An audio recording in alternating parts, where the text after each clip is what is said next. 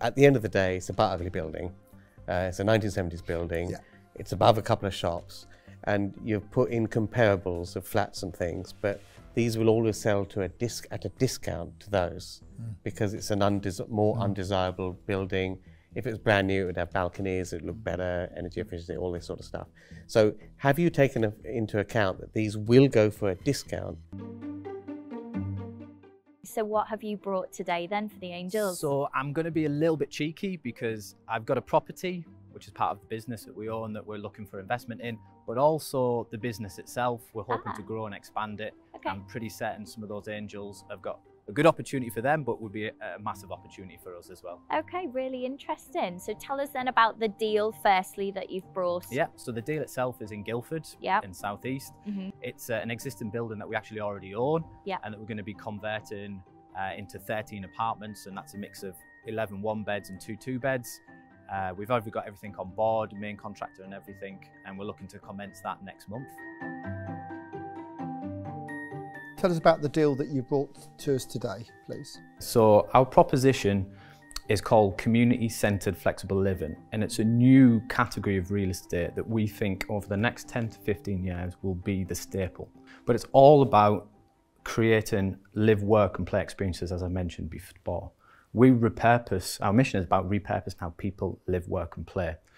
And the whole point was today, living in modern day society, it's tough, right? You only need to switch on a tap, put on a light, you feel the pain. And, and that pain is in every part, whether it's social, if it's economic, it's the environment. And so we went to have a look at a, a model that not just creates a place to live, but looks a little bit more holistically at living, this lifestyle orientated living. And so to do that, we, we created this live, work and play. And you might see in the pack, uh, there's a model in there. And it's just looking at mixed use, mixed tenure. So bringing the best of commercial and the best of residential to support and create value for the, for the resident. So you create your live spaces in the same space, which is mixed tenure, social, right through to home ownership. On, well, stop me there. Let me stop you there. So you're mixing social housing with private ownership Yep. in blocks of flats. In flats and homes, correct. But that was all lovely words, but isn't that just called co-living? So co-living is one of the tenures within our home ownership uh, and within our I don't tenure want to burst your bubble here, Alex, but in my experience, which is relatively large, social housing tenants, housing association tenants, some which are brilliant, by the way, I'm not suggesting they're not, and private ownership doesn't really mix on the whole. Now, you might tell me how you're going to blast me out the water here, Alex, and tell me how you're going to change that. But at the end of the day, it's a very difficult mix. If, if the block gets a reputation, unfortunately, and it's not the not the fault of the homeowner, you know, lending institutions won't have the same big heart you have. We've just avoided, by the skin of our teeth, a house closure on a 42 unit block because of one tenant. The police were around every day for a week because of the way he behaved. But that could happen nothing to to do- someone. Yeah. That Yeah, could but- happen to someone who owned it. To be Correct. fair, Nicholas. It, it could, but it's much more likely to happen in the sort of situation when you're putting in the social housing element. Are you proposing a complete mixed bag of tenure in this particular building? Social No. housing, um, working spaces, and rental spaces, all in that building? This one here we bought uh, last year. Yep. And so we acquired it. It came with the commercial tenant in situ, Yep. as well as office space, and and uh, there was a leisure. It was hot yoga. It was horrendous. Don't know why anyone would like to do hot yoga. Yoga by itself is tough. Someone might suggest You do it in Bolton, you'll get very hot. But it was hot yoga and office space. So we took it over with the thought process of creating additional housing and making it a bigger complex, as well as the the mixed. How many square foot use. is that space? So there's 17,000 square feet in total. How much was it originally? How So many we square bought- feet sorry, was it originally? No, it's 17,000 in total. So you're not you're the not whole- adding you're not adding to it. No. Okay. So we did go in for additional planning. Uh, a long story of lo- with Guildford Keep Planning short, Authority. yeah. But essentially, they said we'll give you 25, but you've got to reapply and do your whole planning process again. Why have you only managed to get 13 apartments under the various PDs under, on a 17,000 square foot building? Ah, because you've got the commercial space in there, which is Oh, like okay. So how much So is it includes three the commercial floors? space. yeah. So we own the whole piece The right whole now thing. within a JV. So you're the proud you're the proud uh, One of that lovely owner ugly duckling building of that's right there, you can see. the ground floor tenants. So who, who's going to have all the shops and everything else? So th- the JV holder. The JV yeah. will hold that. So what you're saying is you're selling it to an SPV, the upstairs, Yeah. which is how? What's the net square feet for upstairs, So please? 9,000, just under 9,000. Nine thousand. That makes more sense. Okay, nine thousand square feet upstairs. In that 9,000 square foot of upper floors, you're looking at getting serviced office space and a whole bunch of apartments. No, no, No, so just flats. just just, Just flats. flats. This Just is the bit because we could one. only get 13 apartments here. We want to Yeah. go for Yeah. a very simple buy, develop, sell Yeah, strategy. straightforward. So I assume the 350 that's referred to here, is that the existing JV partner or is that you? The way we do our equity shares is obviously the equity piece is to to do as a profit share. 870,000 is the total equity commitment. We already have investors through the JV because that's naturally coming to an end. They want to continue the journey which they first came on, and I love to honour that because investors are so important as part of the journey. So I said to those guys, yes, we'd love to have you on. Please come through. So that £350,000 is existing investors. So that's the profit they're making out of the existing It's their, deal. it's their original plus the, a, a bit of the profit they made, yeah, from the back end. Of that 350 from from investors, is any of that yours personally or any of your business partners personally? Yeah, so I mean, we've put a lot of cost to get that building Yep. with planning. It's fully enabled, so all of the strip out costs are done in place. Um, we've spent all on the professional fees, obviously getting planning and, and to where it is right now. We'll inject some more capital into that of about another 75k, um, which will be running for day one cost, VAT, etc. Okay. So of the of the 870, or tell me if it's included in that or not. How much are you personally invested? And when I say personally, I mean your company. How much of that is actually yours So we'll put an additional layer of about 75,000 on in top there. of the 870? but we've already spent the capital Yeah. How much have you spent so far yourself on getting planning and everything else? The total cost. Yeah, I'm just trying to get a certain, feel for the skin in the game. Yes, it's about well over a quarter of a million pounds to get to this and point. I think that's really important that you know people look at these developments and think, oh well, it's this, it's that. We'll just get going. No, there's a lot of costs involved before you actually, you know, before the, the contractor turns up on day one. You know, there's a lot of costs involved, including a lot of interest, of course, and uh, and planning fees and so on. A couple of things that I'm a little bit nervous about. When you look at a, a development, it doesn't matter, you know, what area it's in. I always, if it's a commercial ground floor, I always want to know what the tenants are like on the ground floor because that tells me what sort of area it's in within the town. And I mm-hmm. know it's a good area here. I know it's a nice area. With all due respect, if you look at the tenants on the ground floor, and we won't probably mention them, they are not high end. not high end, Affordable. affordable, and that and that concerns me because that tells me something about the area. I know it's a nice area, but within that area, there's always areas which aren't so good, and having those tenants there uh, in the commercial side, the first thing I ask when I look at any development, what are the shops around it like? North Street, if you, I'm not sure if you're aware of North Street in Guildford, it's right next to the main high street, which is very old. It's very well to do in Guildford. Yeah. It's just about to start a 15 to 20 million pound redevelopment, which will pedestrianise the whole site. North Street, not only going through that redevelopment piece, but we've just had some great names coming in as well. Itsu being the one that's just come in opposite. They've took a very large space. So this street is now all going to be for redevelopment It's on the way up, is what you're and it's on the way up. Now, those Okay. those tenants, although yes, could be affordable in nature, they do represent essential daily spend, which Mm. will always be needed in this day and age, especially coming forward. Doesn't matter what city you live in. No, I totally understand that, but you're trying to sell those flats to people. The first thing they do is look on the ground floor who's and who's occupying those who's occupying those shops. It doesn't give it a good it doesn't give it a good feel. Are you struggling to find your next commercial to residential conversion project? Well, over the next two years, virtually every UK bank branch will close.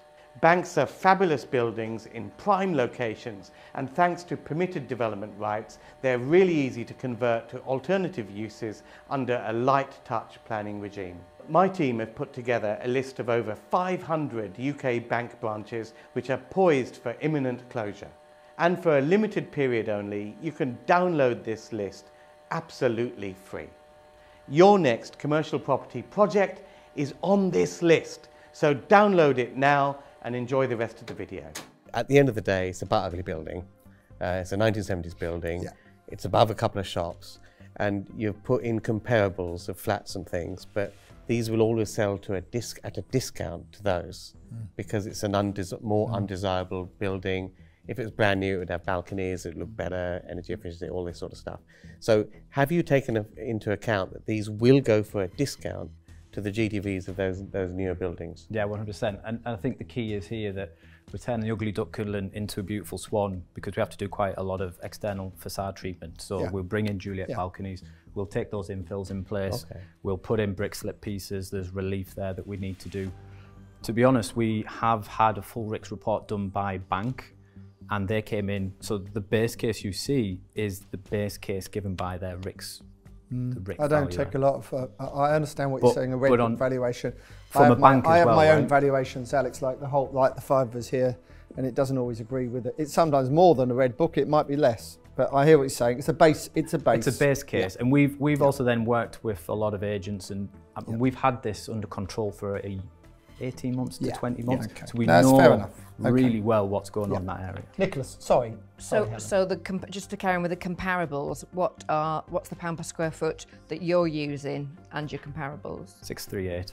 Six three eight. Did you say that you had approval to change the facade? Yes. So it's not going to look like that. No, 100%. Okay. Even if I, with the best developer hat in the world, I don't think anyone would want to buy a. Well, you'd flat be surprised. There there are a lot of developments that look like that, ah, Terrible. and and they're very difficult to finance and sell. No, so we, we're, we're changing that. There is a couple of pictures on Yeah. the Yeah. of what the facade Yeah, really no, it's a very like. good. It's a very good pack. our profit return model, we do what's called a supported floor and an unlimited ceiling. Yes. And the idea is there is to pro- provide protection to the investor in case of development problems. So, you know, overrun on time, GDV decrease, or build cost increase. Essentially, if the profit was to reduce up to 30%, we will still guarantee that 26% base case return. And that is because essentially we'll pay that out of our profits. So What happens if you've there's got- no profits? if there's no profits, then we, we both don't, we share zero. So the support doesn't guarantee a, a return per se. See the support, the way I would Preference returns, It- it- it's a preferential mm. return system. And the way it is, it consider it as additional contingency. We've got 7.5% on here, which is £114,000 of contingency. That's developers' contingency. We're already signing in a uh, uh, a design and build contract with the, with the contractor, the main contractor. So you've got a fixed sum, a fixed price lump sum. So there's part of that risk removed. If they stick to it, which a lot of people aren't doing at the moment.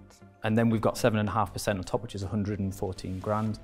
And then what we're saying is with this supported floor, that's another 225,000 pounds. So if the, the things went really bad for whatever reason and we lost profit to the tune of 225, you guys will still have your 26% protected.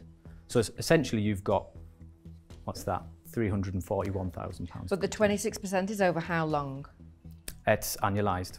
And for clarity, when you say annualised, what exactly do you mean? So 26% will be, so if, let's say we then went to 13 months, 14 months, it would still be 26% that you would make per annum. So if it's in it for two years, I get 26% times two. Correct. Okay, thank you. But you won't be able to pay that. But it won't take two years. I've heard that one before as well. I've said that to my, I've said that to myself before, and guess what? I was wrong. Um, Oh, yeah. okay, so I got promised but one to- once, but I- six you've months, had lots of promises, I expect, over the years. four years on. But what I would say is that we could pay that, and the reason being is that it's 189,000 pounds would be the return to equity based on the current eh, on the current amount, Yeah. total amount. The supported floor is 225, so essentially we we have that coverage for you guys. So Okay. sits within. All right. So we could do two years. I'm No. really hoping it doesn't. No, of course not. Of course, of course, we all want to be positive, and we all want to, we all want to think. But I think four months to to finish off, or, or, or to, or, you know, to sell the flats when they're done. And I know you'll say you'll start the sales now, but Well, we already They're not have the- yeah. right in place right now. We are in discussions on a pre-sale for everything. at So you've sold three already, but you're Uh, Uh, uh, that's the other 10 So the, or yeah, the so the three the three there, we as a business, Yeah. we w- would like to purchase that because that represents opportunity for us in Guildford. Yes. However, we did we were made an approach to say, would you consider selling everything Oh, right. on day one? So obviously on practical completion they would purchase. Okay. But that is and, No. and that is by no means done. No, so no, no, yeah. Okay. I'm just trying to so give as much one, information. I've got one last, if that's okay, I've got one last question. What do you think the property market's going to do over the next 12 months and how will it affect this deal? Crystal ball. I I'd know throw what I think. I want to know what you think. Yeah, so I think you will see a cooling. I, I don't disagree in that.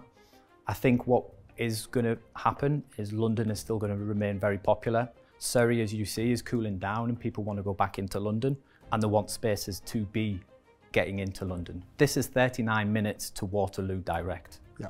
This is a, and the property price is 40, 50% cheaper. So what are you saying? So Up, I or, still da- up see or down or staying the same? I still think this will stay the same, if not increase slightly. Because, And the reason being is it's a small quantum, city centre based, with a great opportunity to get into London. Okay. And the price-ish per flat? The range from 220 up to about 430 was the highest, I believe. Mm. I think you're really well presented, great pack, clearly what you're doing. You, you seem to have a good board of directors. Um, if I was a hands-off investor, um, I'd like to talk to you more. Um, I'm not, I'm a developer like yourself. Um, I want to add value.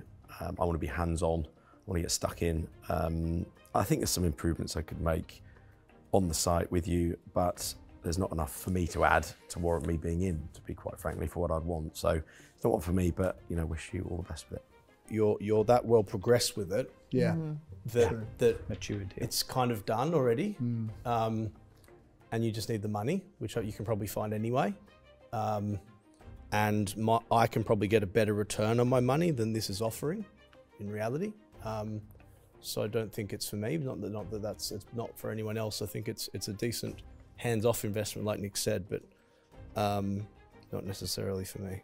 Although we're sitting in armchairs, we're not armchair investors. So uh, I think I, I just echo the, the, the comments. So it's, a, it's an interesting armchair investor deal, but that's not me.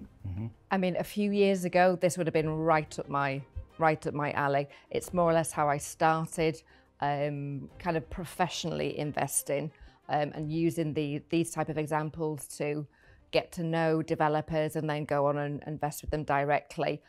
My strategy has kind of moved. I've moved away from that now, to be honest, because of some fairly unpleasant experiences. And I love, I love like your ambition. I love the things you're talking about. Um, but the risk for the return is just is not quite there for me. And like I say, being in the same level as, as other investors, I've moved on a little bit from that. But I wish you well. I, I like this. It, it's the sort of thing we do all the time, and it'd be quite nice not to have to do it, but actually watch someone else doing it. Um, can I add any real value to what you're doing? no, but uh, unlike these other guys, I'm not a control freak. You know, I'm uh, I'm very happy to uh, take a back seat and turn up once a month and have a nice coffee with you, have a look round, and, and for you to confirm it's on schedule, on time, it's going to be done with with you know all the rest of it as it should be. I think his nose grew a little bit there. I need security for the money. I, I, I'm not prepared with other investors to just put the money in the same as them. Now, I understand that might upset everyone. I, I, I can't help that. My offer would be uh, we'll put in um, 300,000 pro rata to the offering. Okay, so we you would do 300 out of the 520. Yeah, but I'd want a second charge on it. I think I can't say, and I will have a look. I'll I- go I, and think have a it's look. conservation. It's a conversation, Yeah, not definitely. conservation. Conversation for afterwards, probably. Yeah, but I think 100%. uh, if that helps, um, I'd go to 300. Don't ask me to go to 305 because the answer is no. Okay, no, much appreciated. I'd love to have the conversation. Yeah, of course, for your it. partners, I appreciate that. But if we can do something, um, that that'd be great. And I think it's an exciting, exciting project. And like you said, you've got others. So thank you very much. Perfect. Thank you very much. Not at all. and uh, let's um, let's speak afterwards and see Yeah. what we can do. Thanks very much. Pleasure.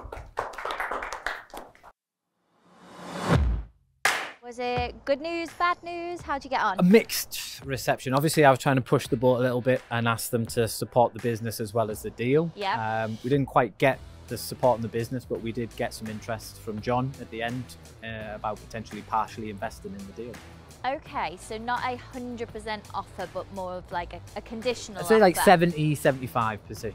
Okay, okay. And what's that basis on? Have you got to have a chat Yeah, and so continue? I I think we're going to have a, a- another d- conversation. There's a couple of things on security he wants to look at um, to make sure his money is safe. So hopefully we can uh, resolve something on that. The scheme's pretty straightforward, it's pretty quick. My concern is getting out of deals quickly at the moment. Don't want to be in for years. I've got some of them. um, and uh, I don't want to put too much in, but if I can have a second charge on it, and I think that's important, isn't it, um, Helen? Don't you think with so many investors just throwing money at people without any security? and we've and we've seen how some of those things end.